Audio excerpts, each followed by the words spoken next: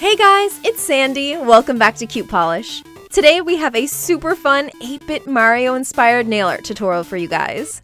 This design has been inspired by Shu Uemura's new Super Mario Bros. Holiday Makeup Collection. We partnered up with them for this video to show you guys these brand new products. If you're a gamer like me, you will love this collection. This is what 8-bit dreams are made of, you guys. They have everything from skincare, a makeup palette, a train case, lipsticks, makeup brushes, eyeliners, and more. One of the liquid eyeliners even has this cute star stamp on the other end of it. This is honestly my favorite makeup collection ever because it combines two of my favorite things beauty products and video games. Juli is also a big fan of Nintendo and wanted to create an awesome nail art design inspired by the retro 8 bit packaging of the Shu Uemura collection. Hey guys, it's Juli. Now let's go ahead and get started with this Mario nail design.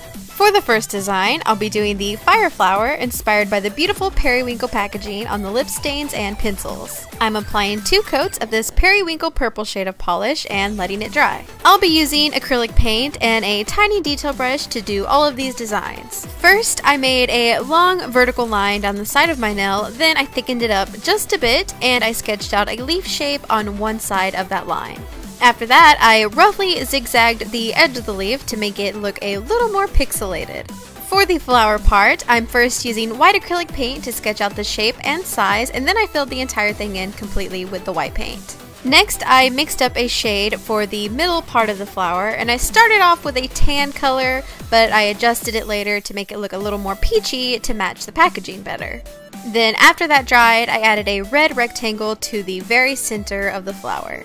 After that, I just went back in with each color and sharpened up the edges to make it look nice and crisp. Then I sealed it in with a layer of glossy top coat to prep it for the matte top coat I'll be applying last. The next design is a classic superstar pattern. For this, I'll be starting out with two coats of a bright yellow polish and letting it dry. Next, I'll be using some watered down orange paint and mapping out the star's placement. Made them continue off my nail for a more seamless pattern look. Then I went ahead and I thickened up the lines. After that, I took some yellow paint and I cleaned up the insides of the stars. And to give the stars a pixelated look, I followed the lines with little dots. Then I just popped on a top coat and let that dry while I moved on to the next design. Next we have the star of the show, Mario. Mario is featured in several cool poses on the Shu Uemura packaging, but I decided to go with his signature block breaking jump pose. So I'll once again be sketching him out with white acrylic paint first. I knew I wanted him to be slightly skewed on my nail like with the fire flower, so I'll be starting his hat and head at about the middle of my nail. I drew on his hat, then the back of his head, moving into his neck, and then I did his nose area, and his punching arm, and finally his body. Everything looks really crazy right now, but he'll come to life when we start adding the colors. I also made sure to block off the different color squares that will be on his overalls and shirt. Now I'm just going to fill everything in with the colors to match the Mario from this collection.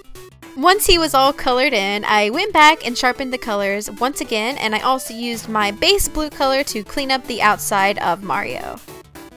And for the last design, we have this adorable pink brick block pattern. I started with two coats of a hot pink polish and I let it dry. Then I used white acrylic paint on a long striping brush and I made horizontal stripes across my nail. You can either roll your finger and pull the brush for an even line, or you can make half of the line starting at the middle of your nail and connect it on the other side. Both ways help get a straighter line. Then I just added some vertical lines, spacing them between the previous row to make a brick pattern. I think this design is so cute and I love it in pink. I also did it on my thumb as well.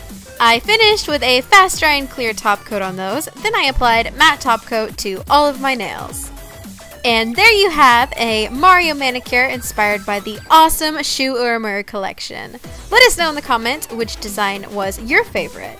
And for more videos on Cute Polish, you can click these boxes here and click on the circle here to subscribe to Cute Polish for a new video every week. If you'd like to check out my personal channel, you can click the circle here.